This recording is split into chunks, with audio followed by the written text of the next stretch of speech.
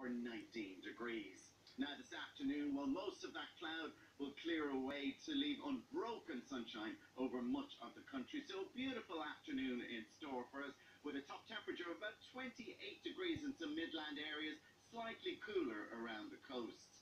This evening, well, it is going to be a dry, clear night. It is very mild and humid